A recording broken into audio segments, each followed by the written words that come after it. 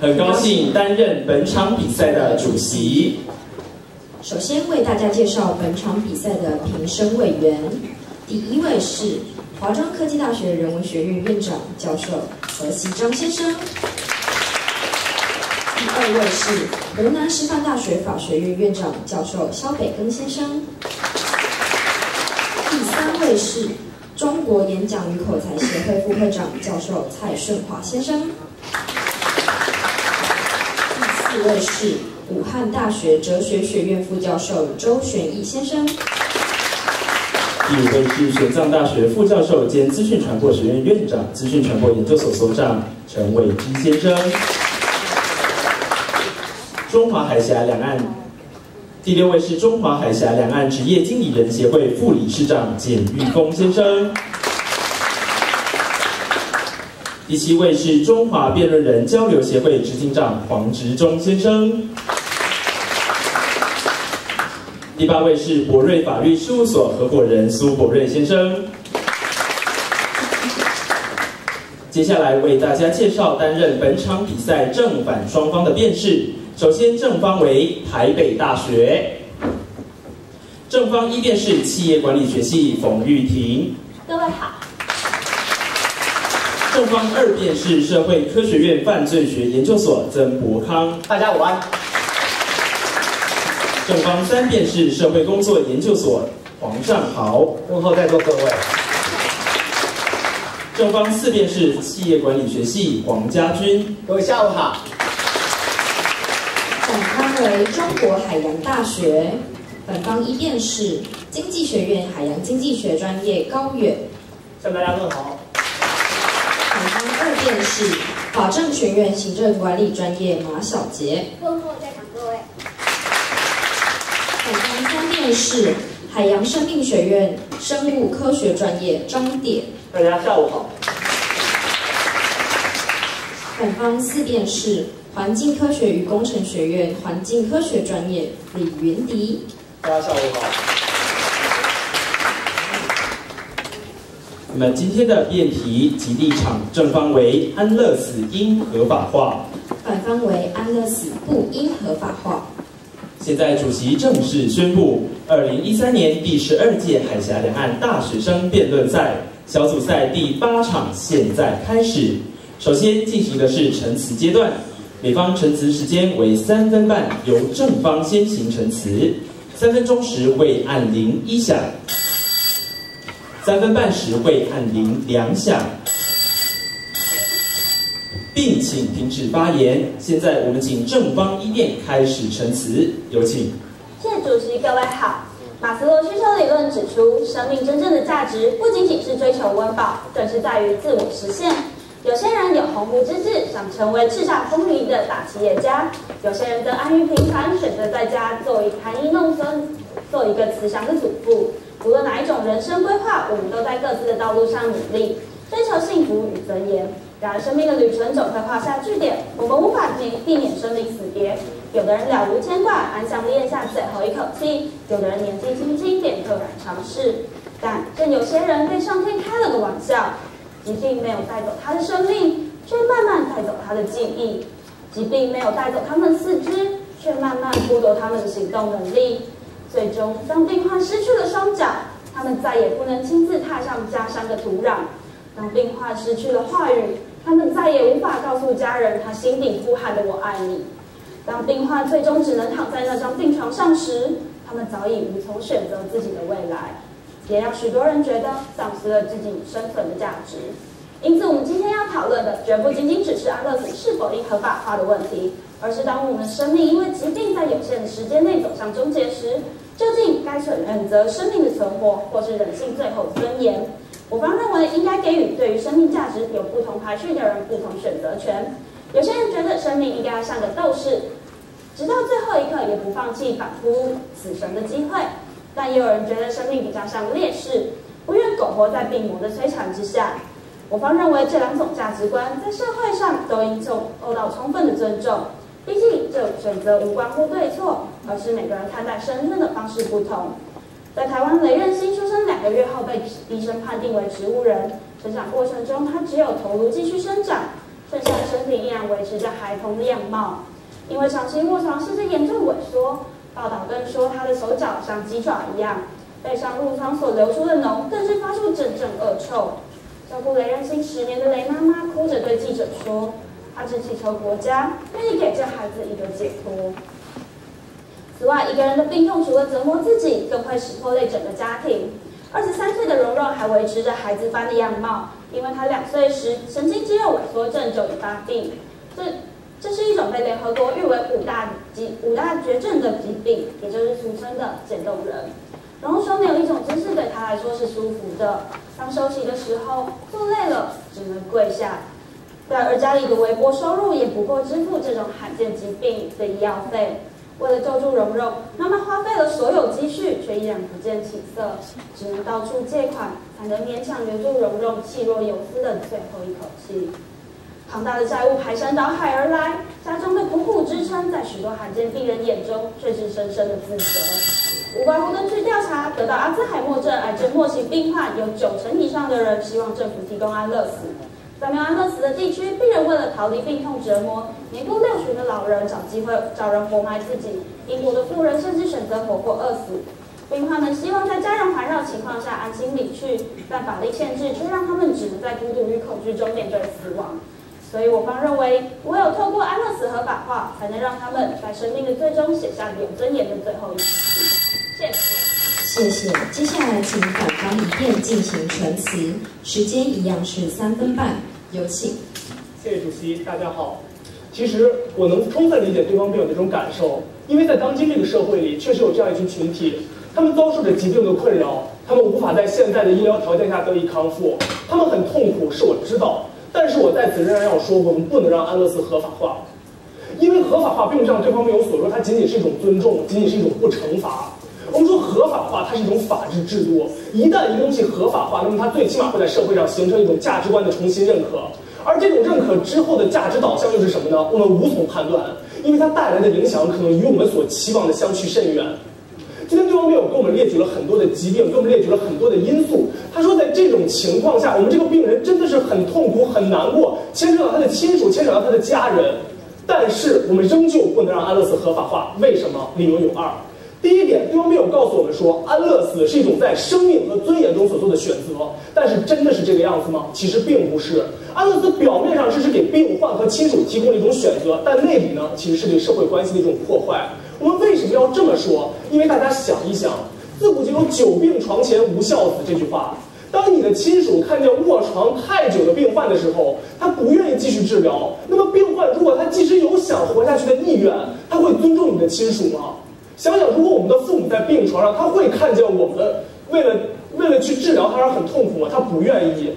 再想一想，我们受到经济因素的困扰。假如说我们因为没有钱就不能去治疗，没有条件不能去治疗，那我们床上那些病患他心里究竟是怎么想的？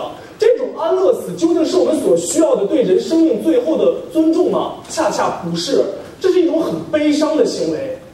再从医患角度来说。今天拯救他人生命的白衣天使可以堂而皇之的告诉你，病患啊，你可以选择安乐死了，因为我没有办法再让你重新站起来、重新康复、重新享受生活了。那么我病人怎么去相信我是一种不计后果接受治疗以后医生告诉我这个结论？我怎么去相信我不是医院不愿意承受我这个包袱而去这么做呢？第二点，今天我们说安乐死要想被执行，它有一个条件是必须的，就是什么样的人只可以实行安乐死？但是我们说安乐死有个最重要的条件，就是病患要去认可。我们今天一个病患，他可能是在昏迷的状态下，他可能是在忍受疼痛的状态下，那么他这个时候所做的决定，真的具有理性和真实性吗？这个问题我们暂且不论。我们现在各地区各国家医疗水平都有所差异，非洲和美国更是天壤之别。那么在这种情况下，对于不治之症的定义又是唯一的吗？也许在这个地区它是不治的，但在另外一个地区它是一个很轻松的疾病，即使不能康复，我们也可以延缓它的寿命。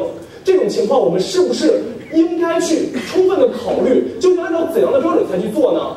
很遗憾，我们找不到这样的标准，因为差距就是存在。但是安乐死是唯一的，它让你在这个地区接受不到治疗，你只能在这个地区选择。今天我想说的是什么？因为安乐死它是一种生命的行为，它不像合同，它不像遗嘱，它不像任何一种协议，你做了以后可以反悔，哪怕付出金钱或者责任上的一些代价。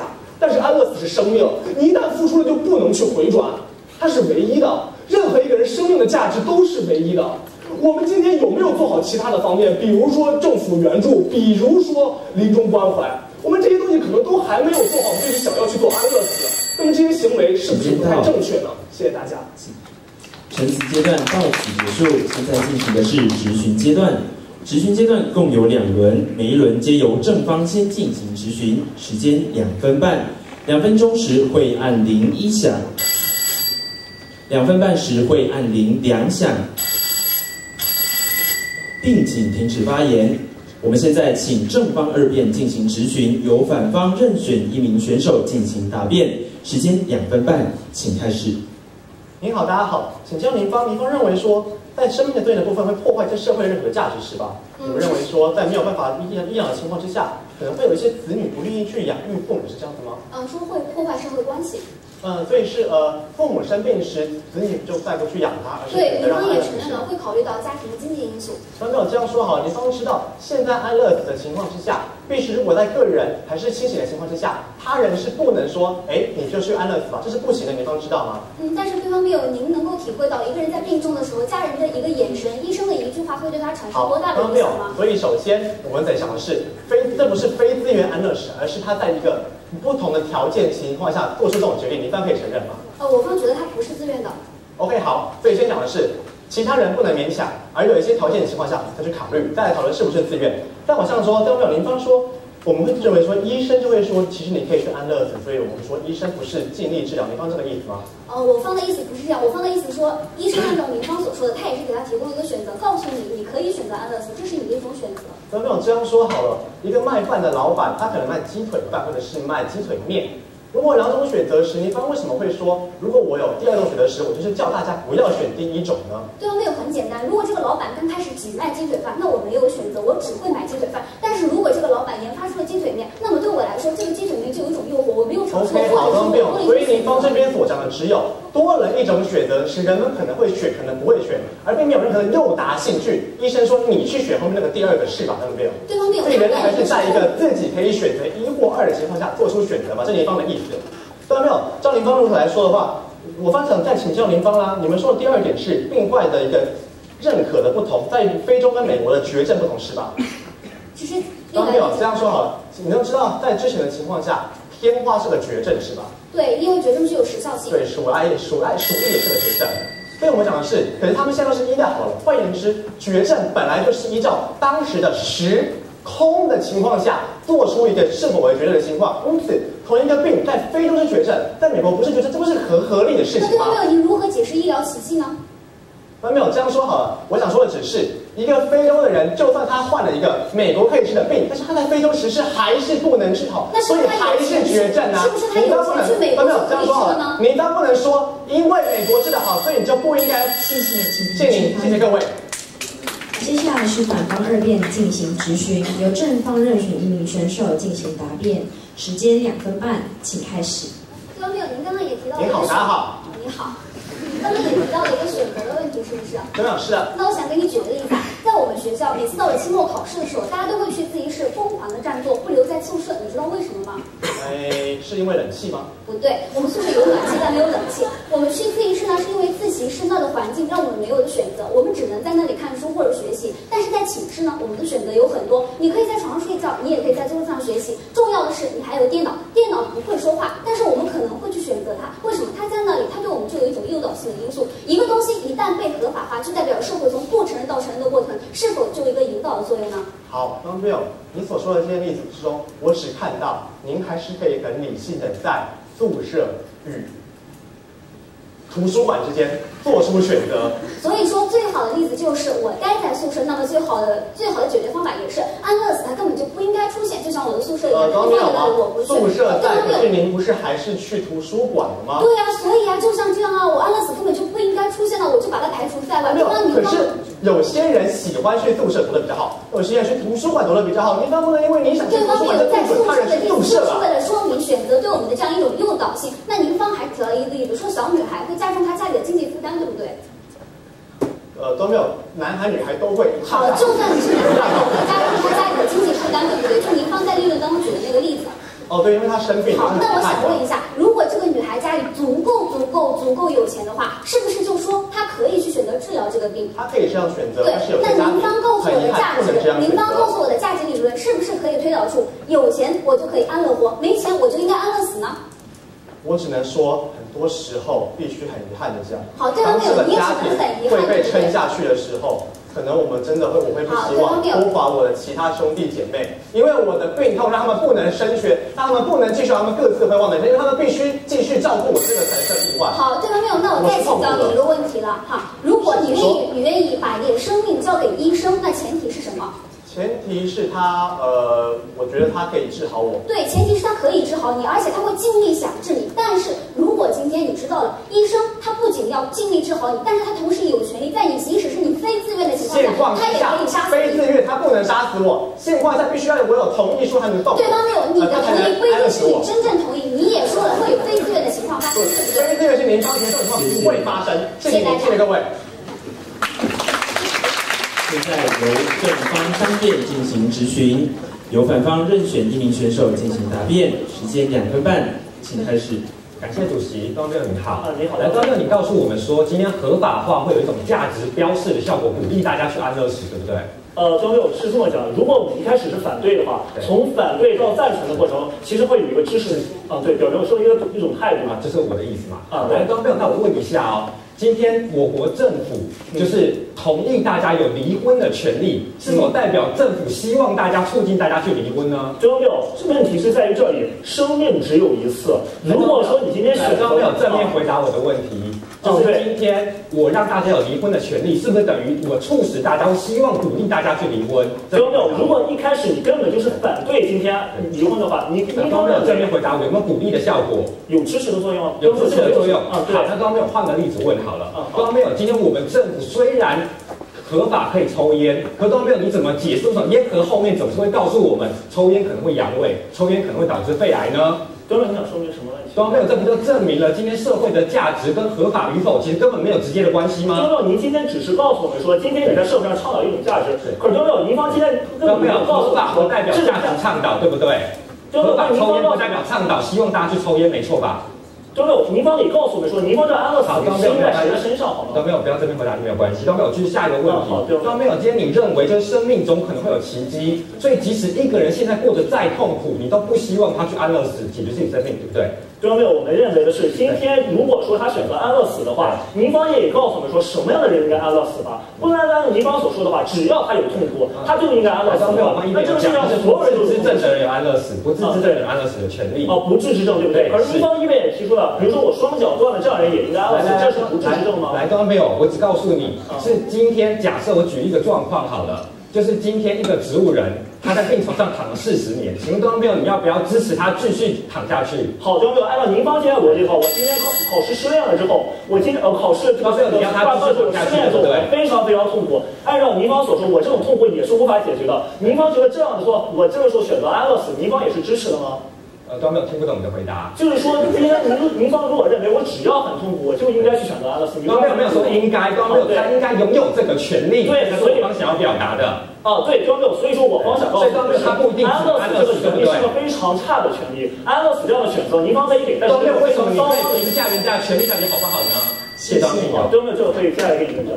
现在由反方三辩进行质询，由正方任选一名选手进行答辩，时间两分半，请开始。好的，谢谢有请庄六。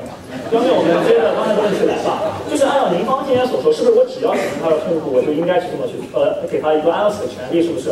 啊，对，当然给他啊，那好，有没有根据根据我们刚才的问题来？如果说今天，比如说我考试挂科的时候，您方觉得我选了 S，你应该给我这样的权利，对不对？呃，再说一次好吧？就是我考试可能我没有及格，我失恋的时候，你方应该给我们这种权利，对不对？失恋了之后给你这个权利，就是我要死，你给我安乐死。刚刚我说的是不治之症，哦，不治之症，对不对？失恋的好，张六请教你了，张六请教你了，为什么您方要设定一个不治之症这个标准？您方设定这个不治之症的意义在于哪里呢？啊，张没有，因为不治之症的患者，他们的生活会非常的痛苦。对，张六，您方今天想告诉我们的还是痛苦，对不对？可是痛苦本身并不一定意味着他应该给他安乐死的权利，对不对？好，张六，请问您了，您方今天最核心的一个论点告诉我们说，今天您方就是提倡两种价值，这种两两种价值都没有错，但是呢，有一个价值的高低之分，对不对？价值的高低之分。对，就是价值观可能没有对错，但有高低之分，对不对？呃，没有啊。好，听没有？那这样问您好了，您方价值的选择没有高低之分啊，每个人选择我们都应该尊重。好，听没有？那您方怎么样告？听没有？您方怎么样告诉我们说，今天对于一个安乐死的患者来说，您方认为他必须在一个清醒的环境下，对不对？清醒的环境，都是自我意愿的体现，对不对？啊，当然没有，其实分了几个环节啦，就是他今天他在生前，他当然可以签订就是同意书，决定他到底能不能被安乐死。那如果他没有签的话，他之后如果是在意识清醒的状态，那他可以选择。好，张伟，大概明白意思。你有非常高速的环境，但是张伟会不会有？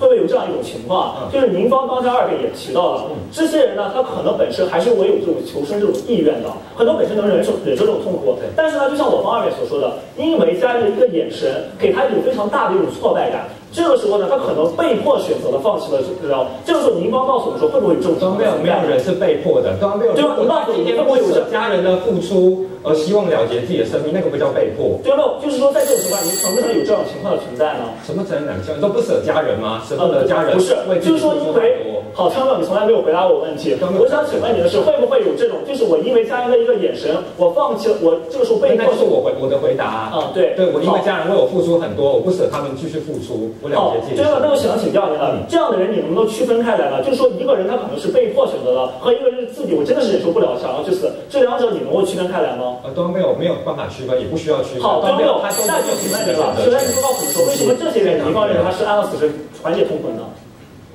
好，实询阶段到此结束，接下来我们将进行小结。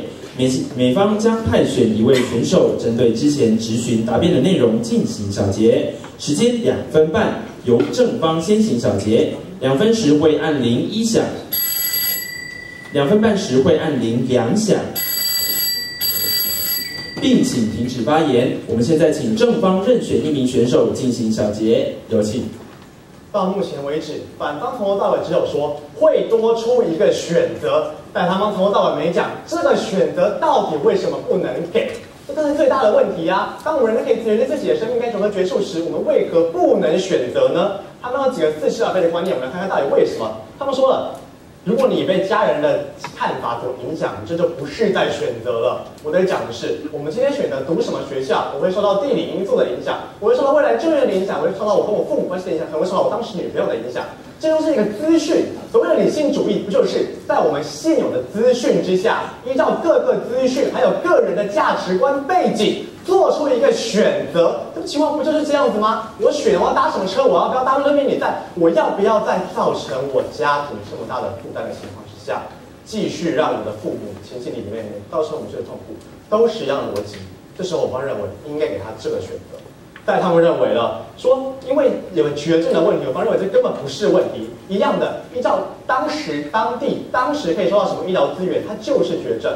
一个痢疾在非洲，我方承认它是绝症。那如果遇到一个绝症时，非洲的家庭无法负担时，很抱歉，你可以选择撑下去斗斗士，或者是从容富裕的以烈士。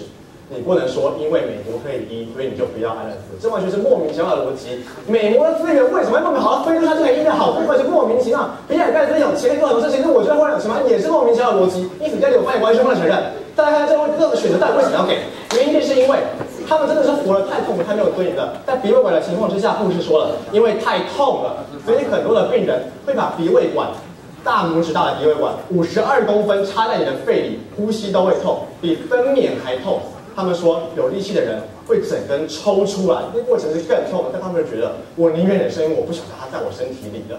甚至是很多没有力气的病人，他会用嘴巴直接把塑胶鼻胃管给咬破。种种情况就告诉我们，他们真的活得很痛苦，想要去死。而他们不给他的情况是他会怎样呢？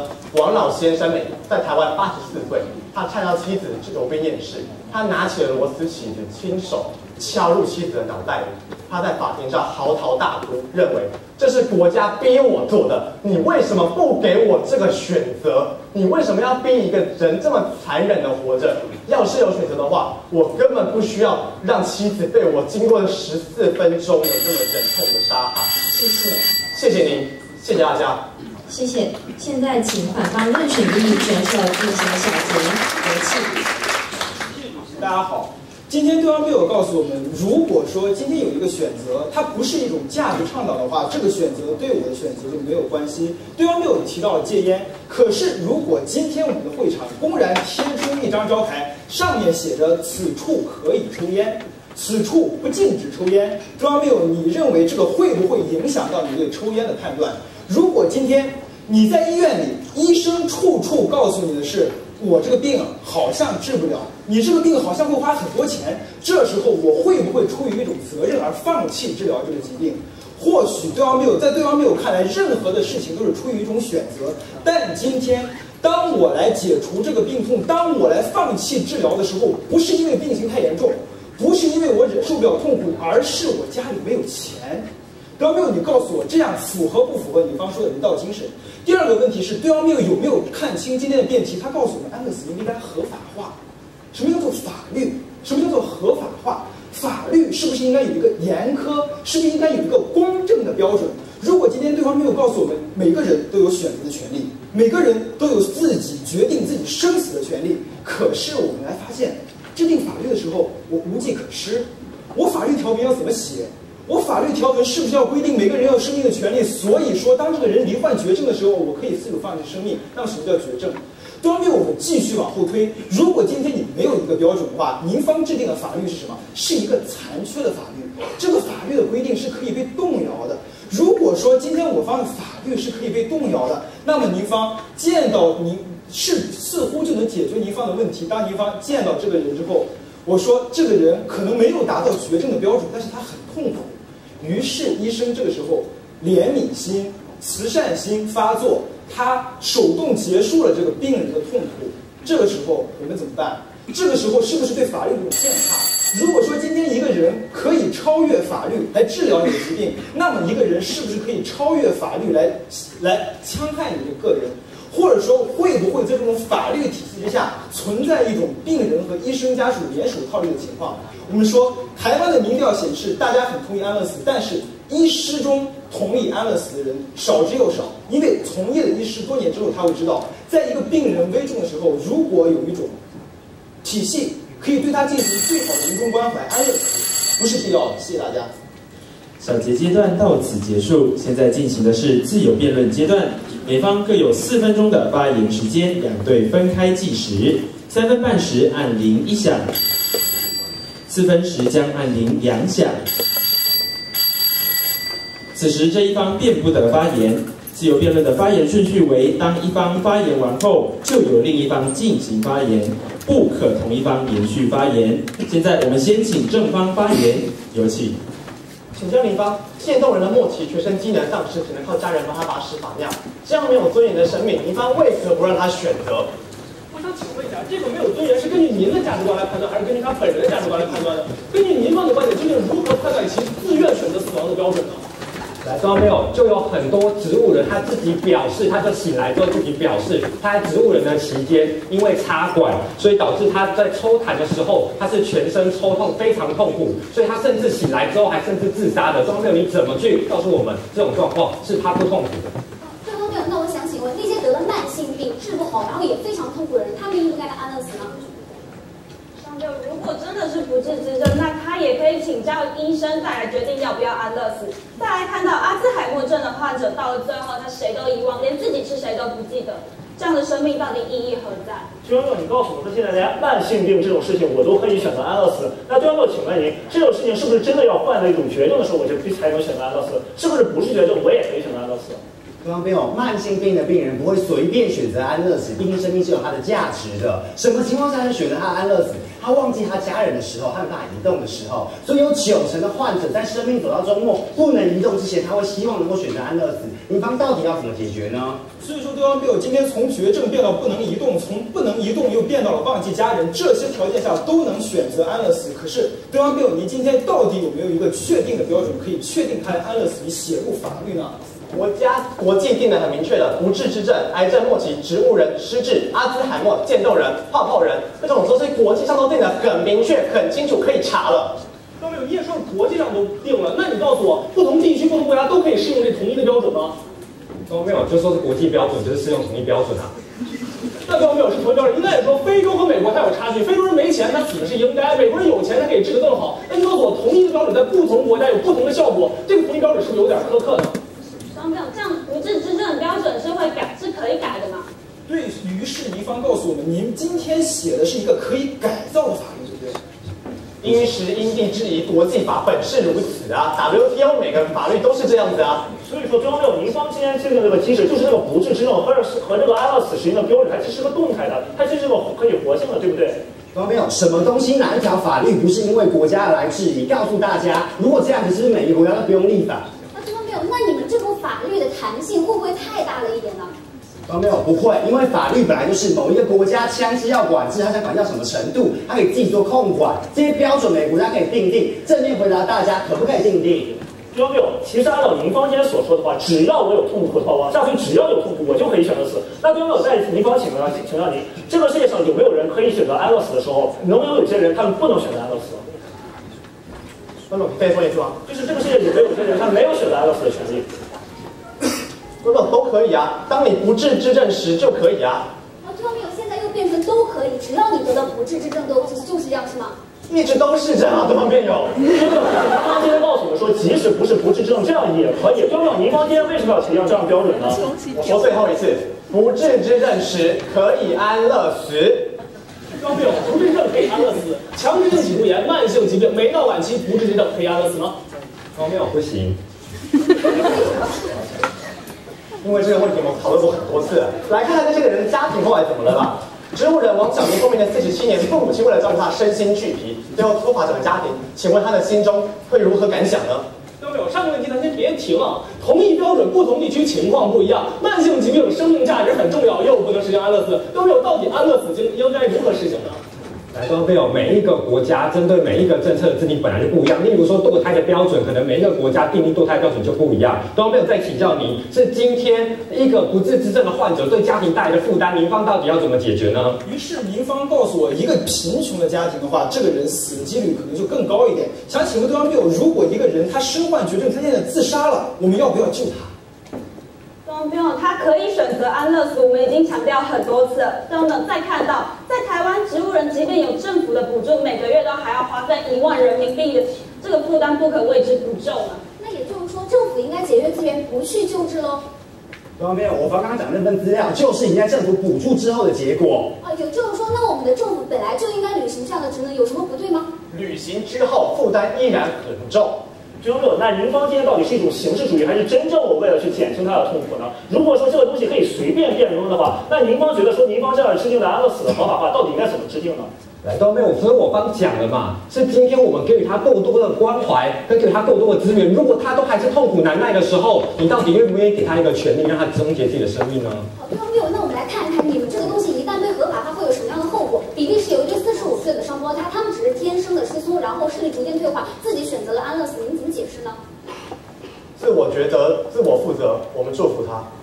自我觉得，自我负责。现在比利时有一对七十岁的老夫妻，他们只是想双双去安乐死，然后一起步入天堂之后，竟然就实行了安乐死。对方没有您怎么看？有没有？你方资料没看完，那两个老夫妻他深受病魔困扰。所以说，周六，你今天为了满足一部分人的需求，就希望更多人生生存的这种希望，就说您方觉得您方这种做做法真的是真的是正确的吗？侵害谁了呢？没有，我们说侵害谁？您告诉我，同一标准是不是各不同国家可以自己去选？是不是这三条标准里面，自我意愿才是最重要的？是不是自我意愿可以超越不治之症，可以超越痛苦呢？不是，集合叠放时才可以。好，朋友们，那就回到这个自我意愿来说吧。请问对方没有一个人为什么我在自杀的时候我要去拯救他？对方问为什么？都没有，就像您说的，啊，生命是很宝贵的啊。对，有没有？因为在自杀的时候，他可能意味处于极度的痛苦的时候，在这个时候会选择做一出非理性的选择，对不对？有这种非理性的选择，您方认为它是一种自我意愿的体现吗？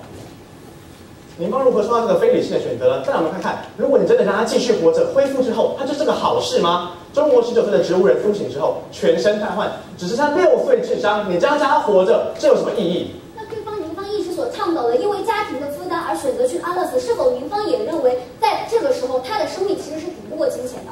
都没有，您是告诉我们说有非理性的状况产生。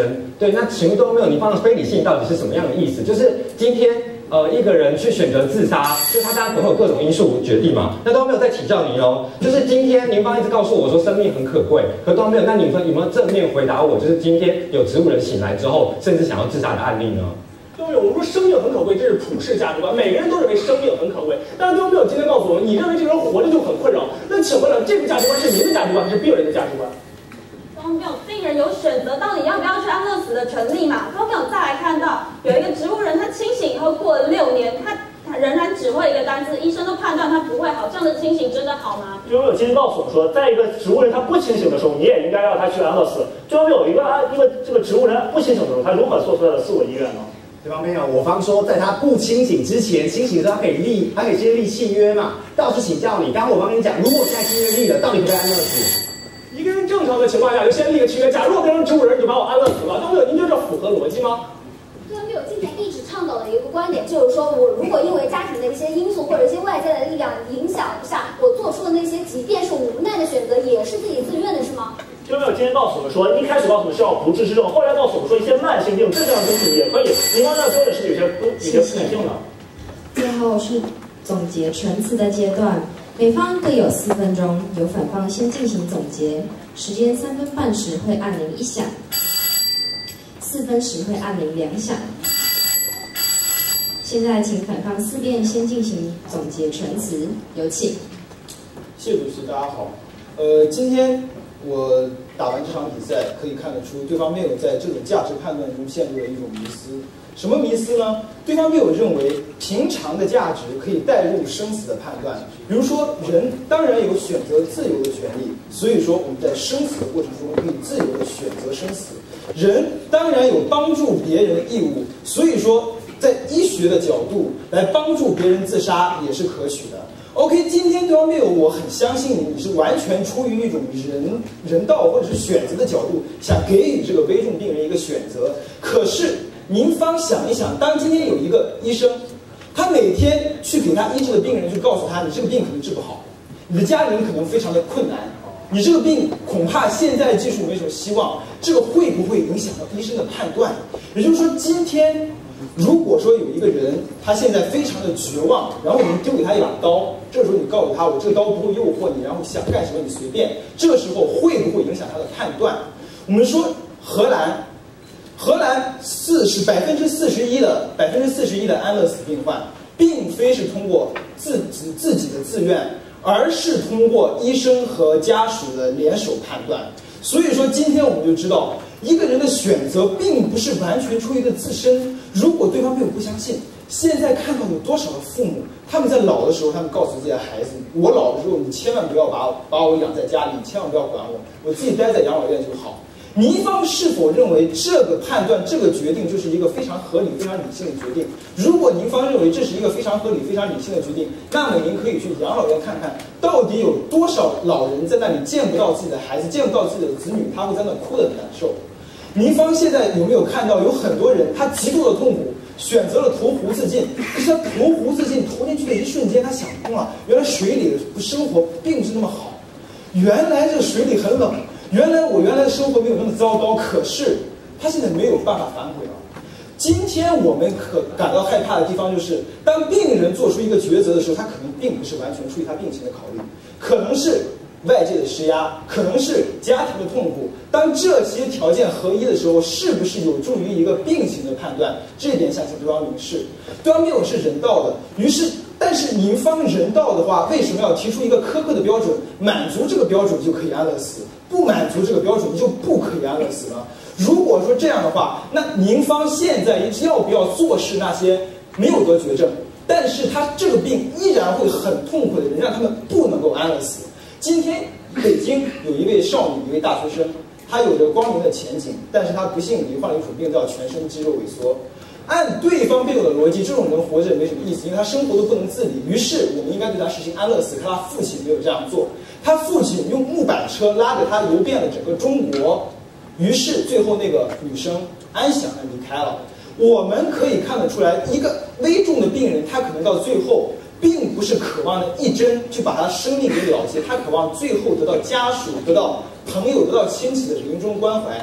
端谬，您方直接选择安乐死而跳过了所有的中间过程，您方这种行为与杀人凶手合意。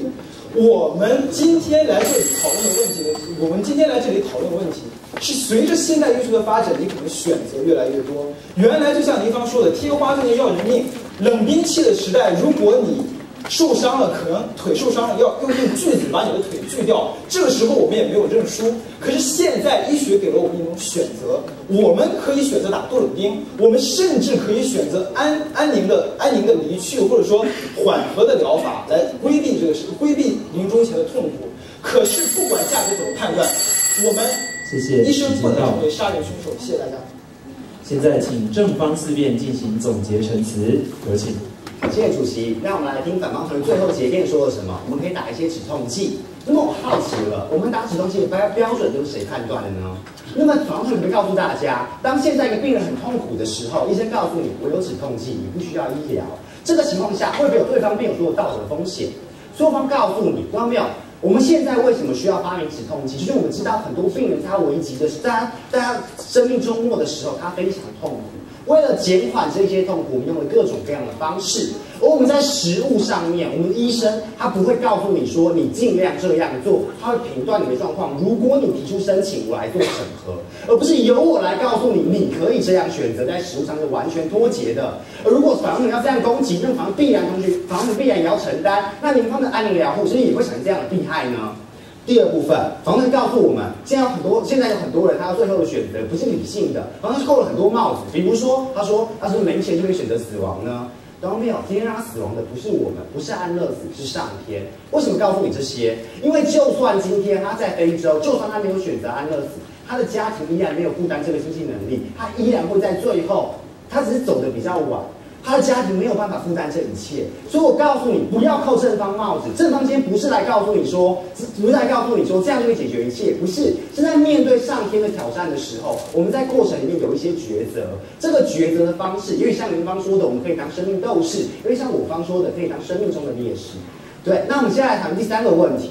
对方没有说，我们在我我们在最后价值观上面的选择的时候，如果通过合法化成一个诱导性的问题。这个部分当然跟上一部分的攻防是有关的，不过我想做另外一个回应。有没有知不知道，在比利时，刚刚有说荷兰现在非自愿安乐死的比例是百分之四十一，在比利时，它在还没有合法化的时候，它的非自愿安乐死的比例是百分之七十。哎，很奇怪，为什么这个样子？因为这是一个非法的国家，可它非自愿安乐死的比例却很高。原因就是因为他的人民没有办法好好的做抉择，他的人民如果今天想要死，他只能寻找一些，比如说秘密或者是一些地下化的，就是一些明明就不是很正当的方式。可是经过合法化之后，比利时在经过控管，以及荷兰经过控管跟合法化之后，反而在最后，因为有了标准确定，所以一路降到百分之四十。这个对方没有所谓的瑞摩林克报告，里面告诉我们，这个其实是在证明地下化变地上化之后，可以变得更有效的控管，可以避免这些问题的产生。对方没有，你还要记得一件事情，不是你方今天被打化之后，这些问题通通不会产产生，大家就不想选择死亡。没有，我刚告诉你，在这些问题都被结束之后，反而让更多人用更偏激的方式选择死亡。如果今天我方，如果今天我不能移动，我只能选择什么方式？我咬破我的，我咬破我的鼻胃管。如果今天不能移动，我只能选择什么方式？我请别人把我活埋。为什么我方今天要跟你谈？在生生命的最终的时候，我们除了要谈，我们除了要谈有人有死亡的需求之外，你要意识到一个问题：如果今天这个死亡的需求在国家的法律里面没有办法被满足，他势必得要走上一条更偏激的道路。所以我方告诉你，有些人他到最后选择把自己活活饿死。我刚只是想告诉你，这些需求你是不可能阻挡的。瑞士这个国家，它没有瑞士这个国家，它没有限制自己的国民，并它没有限制自己的合法化的范安乐死合法化的范围，必须要它的国民。所以全世界有很多想和和安乐死安乐死的人，通通飞去瑞士，请他帮我合法的安乐死。这方面有，我要告诉你一件事情，这个趋势你是不可能挡住的，因为太痛苦。有很多人在最后生命的周末，他希望可以走得安详一点，在跟家人道别之后，最后选择跟家人亲吻。看到没有？在这一本书《我们定位护照战舰》里面，他告诉我们，里面的老奶奶在最后走的时候，她告诉孩子说：“如果你现在让我活着，这才真正的不孝。我感受，我感谢我生在瑞士，因为在瑞士，我遇见了这里的医生跟护士们的善良，他可以体谅我在这个地方的痛苦，他可以体谅我在这个地方活得很辛苦。”谢谢，谢谢大家。总结陈词后，最近正式宣布，二零一三年第十二届海峡两岸大学生辩论赛小组赛第一天的比赛已经全部结束。再一次以热烈的掌声，谢谢两岸的优秀辩士以及。